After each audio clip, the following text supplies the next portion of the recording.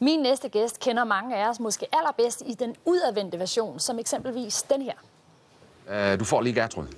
Hvem er det? Ja, det er de søster. Nej, så det kom hjem fra Rodos. Nej, goddag, søster. Hvordan var det så nede i Rodos? Ja, det var så med en fin postkort, I sendte der. Ja, det var. Nå, nå, nå. Det var slet ikke så varmt endda. Nå, og hotel var slet ikke så god.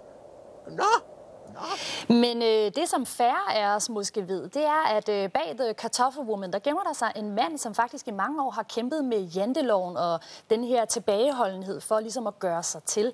Og øh, det er altså en følelse, som øh, skuespilleren Carsten Knudsen nu har taget et utraditionelt skridt for at gøre op med. Og Carsten, øh, det her utraditionelle skridt... Dag, Louise. Goddag. Det vender vi tilbage til. Men allerførst, prøv lige at fortælle mig, hvorfor lå du under for janteloven? Jamen, det ligger jo både noget med narve fra sine forældre, og noget, der ligger i hele ens opdragelse fra skoletiden, og, og, og meget af det, man har med hjemmefra. Altså med, at man får at vide, at man skal først svare, når de voksne har spurgt. Og, og det er jo sådan, var min skolegang. Og, og øhm, man skal ikke komme for godt i gang, og man skal ikke tro, man er noget, man skal ikke puste sig op. Og hvis man vil sælge sig selv, så skal man jo netop puste sig op en gang imellem og tro, man er noget. Altså, så skal man jo bede dem om at starte en trommevivl. Så laver jeg mit nummer lige om lidt, ligesom i cirkus. Og, og, og så siger man, puh, nej, det er alt for svært det her. Kan du ikke lige starte trommevivlen igen? Og så går artisten i gang igen og falder måske ned med vilje, så det ser rigtig farligt ud og sådan noget. Altså, sådan skal man jo gøre, hvis man vil sælge sig selv.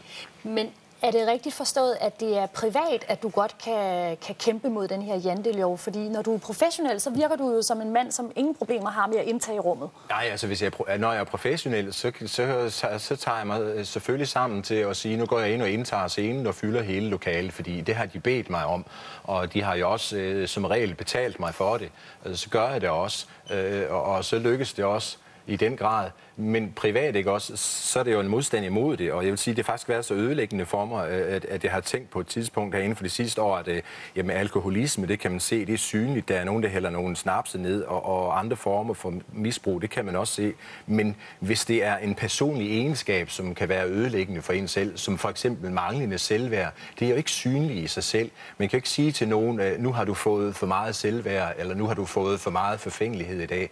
Altså sådan nogle egenskaber, de kan være lige så ødelæggende for et menneske mm. i sig selv, uden at der behøver at være misbrug blandet ind i det også. Hvad tror du, det har ødelagt for dig, at, at den her jantelov har fyldt så meget? Jamen, det har da betydet, at i, i, øh, i perioder, så har jeg øh, gemt mig, og øh, jeg har holdt mig ude i randområderne. Det har jo også for eksempel betydet, at øh, jeg faktisk har spillet på over halvdelen af de danske småøer, men øh, øh, fordi jeg ligesom har gemt mig derude. Øh, og, og, Men de store stadioner, dem må du ligesom lade stå. Ej, nu jeg ikke lige sige, at der har ikke været bud efter mig i de store stadioner til offentlige koncerter, men jeg har dog øh, mange gange, øh, og også for nylig, haft øh, op øh, til over 800 mennesker i min hulehånd i 45 minutter, og jeg tror det meste det var 2.000 skoleledere engang. Det er jeg ikke bleg for, jo.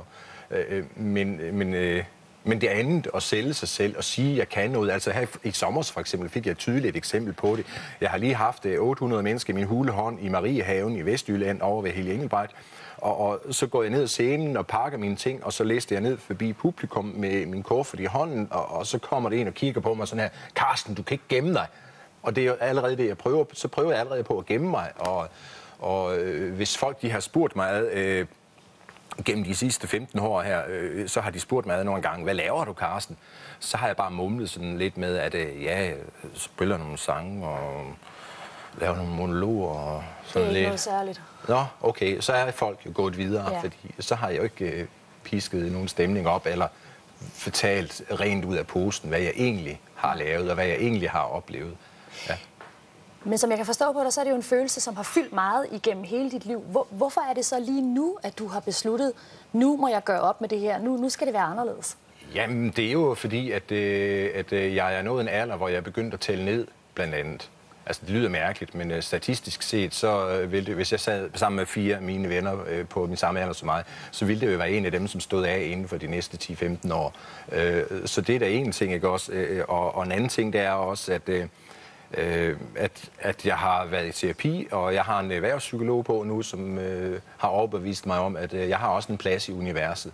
Altså, jeg kunne jo i virkeligheden øh, allerede efter vi havde lavet The, jule, The Julekalender, gået ud og sagt, yes, jeg har været med til noget af det, det største TV2 altså stationen TV2, har, har lavet, øh, har lavet i, i mange år, ikke også? Men det gjorde jeg ikke. Nej, jeg blev ved med at kravle langs med panelerne og, og, og, og synes, at nej, jeg kunne have øh, lavet, gjort mig selv til en konge, uden at der var nogen, der ville have peget fingre af mig af den grund. De Ja, ville, du havde da positionen til det i de hvert ville fald. faktisk have sagt, at det er helt i orden, du har lavet en succes, du kan sagtens... Øh, øh, men det hjælper ikke noget at have lavet noget stort. Det kan ikke øh, øh, holde ens øh, selvværd op alligevel. Altså, det er ikke det, der skal til. Det er, man, man skal være vågen ind i sig selv og være opmærksom på, hvad det er for nogle... Øh, handlinger, man gør over for sig selv, hvordan man kan komme til at ødelægge hverdagen for sig selv ved at afskære sig selv fra at være sammen med andre mennesker. Altså jeg har jo nogle gange, hvor jeg har lavet nogle øh, nye numre, og, og, sådan, og, og så i stedet for at bruge tid på at sælge dem, så har jeg sagt,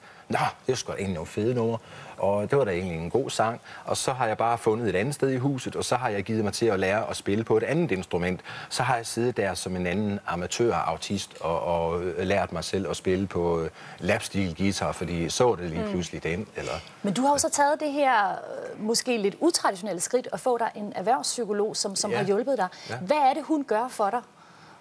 Jamen, det er at, at, at hjælpe mig med at være opmærksom på øh, de mekanismer, når de starter. Altså når, og, øh, når jeg, så, jeg, så jeg kan nå at stoppe mig selv.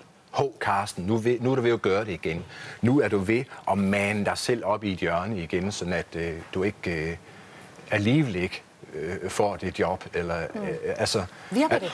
Ja, det gør, og jeg har også fundet ud af, at øh, at øh, arbejde, øh, øh, eller at, at skaffe sig et job, eller skaffe sig øh, øh, kredse og arbejde i, det er jo ligesom at flørte. Man skal jo som mand eller kvinde aldrig holde op med at flørte, fordi man har et fast forhold heller. Man skal jo blive ved, fordi så holder ens partner også bedre på en. Og øh, øh, der sker også det, at man selv finder ud af, jamen du er faktisk også noget værd i andre kredse, eller hos andre kvinder, øh, eller mænd, hvis det er omvendt. Altså, det skal man blive ved med, og, og sådan er det også... Øh, øh altså, man skal ikke sige, øh, ligesom jeg har mange gange har gjort, ah, men det er sådan en indespist kreds, de der folk, de laver tv for sig selv, at de kan nok ikke lide det, jeg laver. Og så har jeg afskåret mig selv fra at, at, at opsøge et andet fællesskab. Hvis vi nu havde ringet til dig for to år siden og sagt, Karsten, tør du komme her i aftenshowet og fortælle om dig selv? Vil du så have sagt ja? Nej, det ville jeg ikke have sagt for to år siden. Det ville jeg ikke have turet for to år siden. Men hvordan er det så at sidde her i dag? Øh, Det er da en udfordring, men øh, jeg har da besluttet, at øh, uanset hvordan det her det går, så er det en sejr for mig. Uanset hvordan det går her i aften, så er jeg glad for, at jeg har gjort det. Fordi at, øh, det er da en sejr i sig selv for mig. Det må du nok At sidde i en rød stol her ved siden af en smuk kvinde. Åh, oh, tak skal du have. Der løftede du lige mig. Men jeg skal også lige fortælle ikke også, at jeg også har lavet en ny CD, fordi skal nu kan jeg da. mærke, at den næsten er gået 5 minutter. Ikke også? Kan du høre min øresnegl? Den er allerede Ja, det kunne jeg næsten gløde. fornemme, at det begyndte, og, og, og, og jeg kan da for eksempel bare gøre sådan her, hvis jeg må det. Gør må det? Sådan, altså, der er en ny CD på vej, som hedder En hel del mere, og, og ja, nu, kan jeg næsten, nu kan jeg næsten engang sige titlen selv. Øh, en hel del lidt mere og noget helt andet. Og, og det er også fordi, der er så mange forskellige genrer på den CD og den DVD, fordi der er jo to skiver i den her Carsten, du er i boks. hvert fald ikke en mand, der er tynget af janteloven lige nu. Godt gået. Ja, og det. Ja. Og vi kan se, at vi er også stylet hos den samme stylist. Ja, men vi har, du tør vi har ikke gøre det her, vel? Nej, det tør jeg faktisk ikke. Carsten, tusind tak for besøget og på Jamen, tak fordi jeg måtte komme forbi. Den vil vi da også gerne følge op på,